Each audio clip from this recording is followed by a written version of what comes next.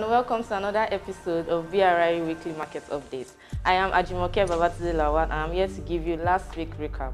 Last week, the market closed on Friday with a gain of 0.04%, which is also known as 4 BPS. Volume traded closed at 193.5 million and value traded closed at 4.6 billion naira. BRI experts also noticed that the market gained three times last week compared to previous week where the market gained only once, which was the midweek gain. We have also noticed an August miracle, which the market was gaining only for the midweek. The biggest loser, that is industrial goods, declined by 4.19%, and we attribute the loss to high investor sell-off in this sector in the course of the trading week.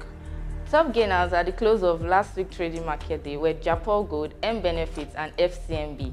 Japol Gold led with 9.6%, while the top traders were Jais Bank, FBNH, and Access Corp. Jais Bank led with 45.9 million. Hope to see you next week and for more information visit www.businessday.ng. I am Ajimoke Bayotilawa once again and I hope to see you next week.